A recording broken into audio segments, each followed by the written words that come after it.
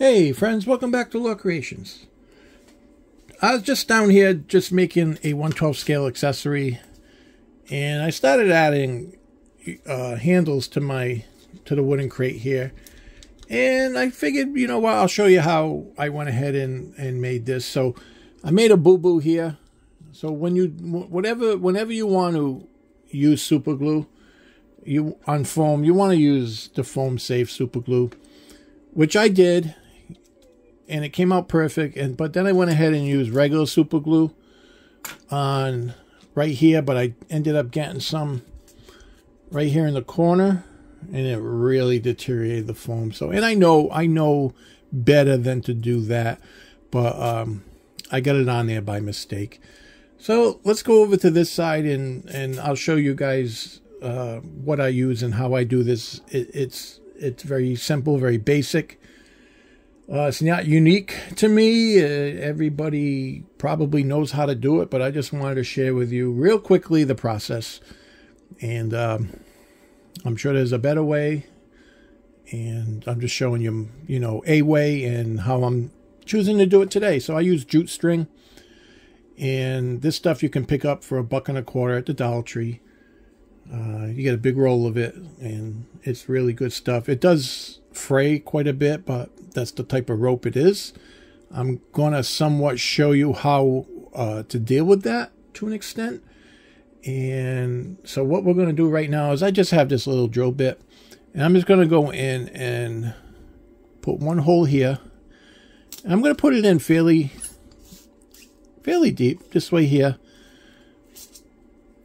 It gives a good, uh, good base for the rope to adhere in there. And you just want to kind of keep it nice and lined up. Eyeball it. It's not a big deal if it's not, but that's kind of the idea there. So, and I already added a piece of wood here, textured it with some wood. I'll paint it up later. I just wanted to go in and show you exactly uh, how to make these little handles, little rope handles for your crates. Very simple. So then I'm going to take my string and you can see how it's all frayed and I'm just going to I'm just going to twist it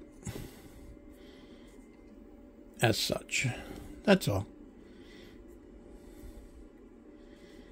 And then what I'm going to do is pour a little super glue on here. That was a little more than I wanted. And we're just going to roll this piece around in it. Because that's going to make it uh, less pliable.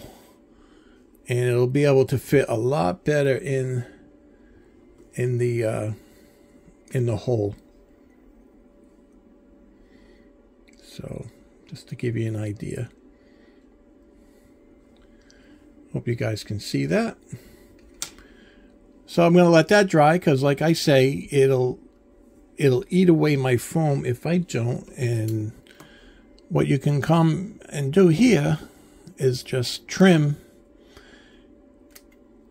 any fraying parts. I tried one time burning the little frays and a lot of times it worked, but then at one point, my whole string caught on fire, so not recommended. Don't do it. Just use some scissors. And you could be here forever.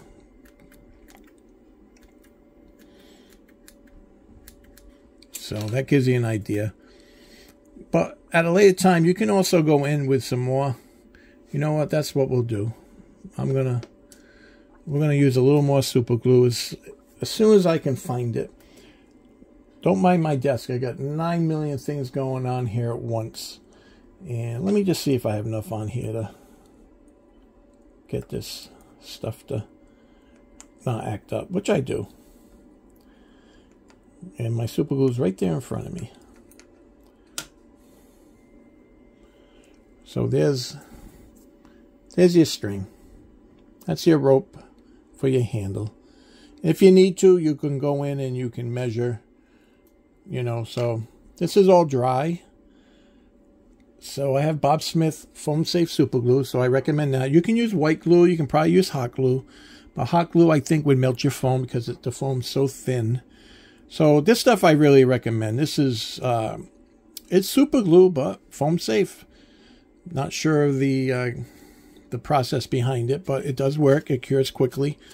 So you can see the holes there. So I'm going to drop quite a bit of glue in here. And it's not going to take too, too much. And then we're going to take one end of our jute string and we're going to feed it. And that's the purpose of the super glue is to give that give that piece a nice nice base to feed in there. And you can see how it's it doesn't I got the glue on the foam and it does not eat away your foam like like the regular glue does there. I mean that I can get away with that. It'll, it'll just look like maybe some weathering, and some damage, but at the end of the day, I didn't want to do that, and that happened by mistake. So anyway, but this is already taking. You can see there. So let me see if I need to trim this, and let me see if it's kind of the same length as the other handle.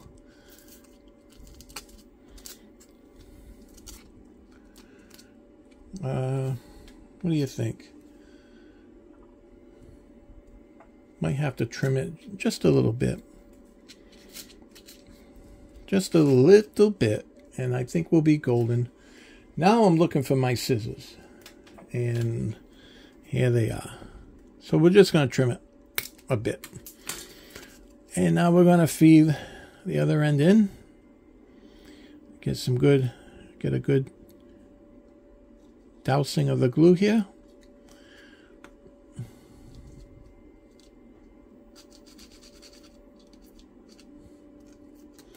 And voila. There's your handles. Once it's all painted up and and secure, it'll look all nice and look original, look and it'll be perfect for 112 scale figures. But that's just a little idea, guys, of if you want to add handles to your crates and make it, make it a little more realistic, a little more detailed to them. Okay? And you can do it you, you can do it cheap.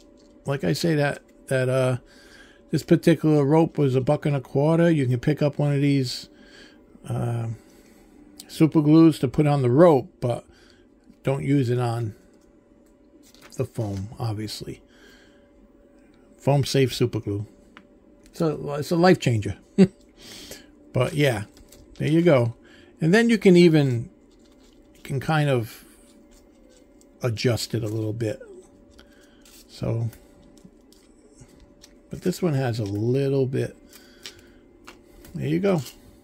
Give you an idea of what it looks like. Okay, I hope this is helpful. Forgive my babbling. I hope uh, the camera work was okay. And I hope you use this going forward in your uh, with your own accessories, okay? Take care, folks. Enjoy.